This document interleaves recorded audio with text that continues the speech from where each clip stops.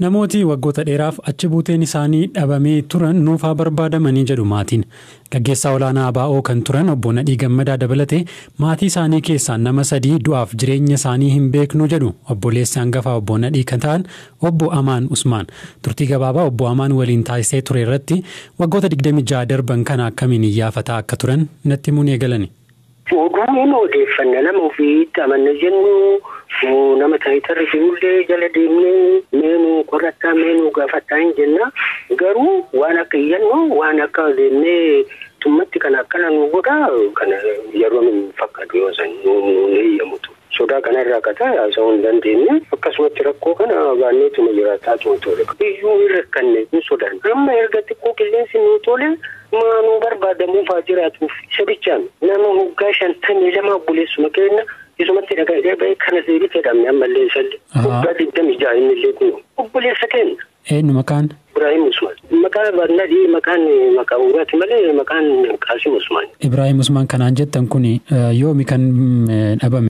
Saddeettamii afurii manumaa baheetuma akkuma ka isaa kan odeessanillee namni beekee odeessu hin jiru ka isaa yoo nu beekasamni dubbate malee. Mucaa kiyya hangafa har'a umriin isaa waggaa afurtamii ja'a. Xiqqoo fayyadameetti Quranbarsaa ol baasee gizee yaadii galu san isaanat koomishiniin ala si erginaa haa yaalamuun argi wayii si haa yaalamuun jedhanii dirjitii Naazar Tireezaati warra ijoollee kunuunsu asumaatu hin galiin jedhanii hospitaala baasee achi kaa'e warra dirjitii achi hin gaafannaan sisteer meeriteellaan kaati daa'ima itti kennite ijoollee dhibba ja'a fudhattee dawuu Afrikaa galtee jiran. Adaraashama kana adaraashama warra kana dirjitii kana nama naa kennu dhabee mucaa hoggaa afurtamii jaha kun qabee amma areedu. Manuma keenya kana keessaa areedoo sadii jechuu bakka. Nadii Ibrahim mucaa kan kun maatii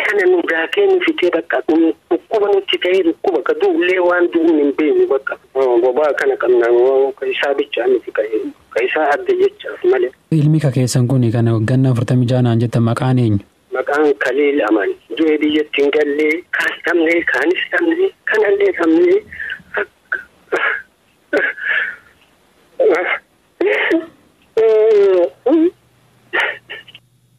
Waan hedduu nama gaddisiisu dhaggeeffattoota keenya dhimma namoota achi buuteen isaanii hin beekamne ilaalchisuun dubbi himaa abbaa alangaa federaalaa Itoophiyaa kan ta'an obbo Tasfaayee Bilbilaan dubbiseen ture akkas jedhu. Asirratti deebiin kennamuu danda'u namoota achi buuteen isaanii hin beekamne kan jedhu qaama kana jedhutu beeka. Sadarkaa kanatti qaamni gaaffii dhiyeessu yoo jiraate gaaffii kana galmeessee kan qulqulleessu jira. Deebiin malu kan kennamuuf ta'a. Akka mootummaatti mootummaan to'annoo jala oolchee kan of harkaa qabu hooggantoonni olaanoo ABO jiru moo hin jiran jedhee gaafadhin ture. Sadarkaa kanatti yaadni siif kennuu danda'u hin jiru. Hidhamtoonni himanni isaanii adda osoo hin citiin ammallee mana hidhaa jiran hedduutu jira jedhama. Kana ilaalchisuunis akkas jedhu. Namootni dhibba tokkoof soddomii torba ta'an himatni shororkeessummaa irraa citee jiru. Sana keessa namootni jiran jiraachuu malu.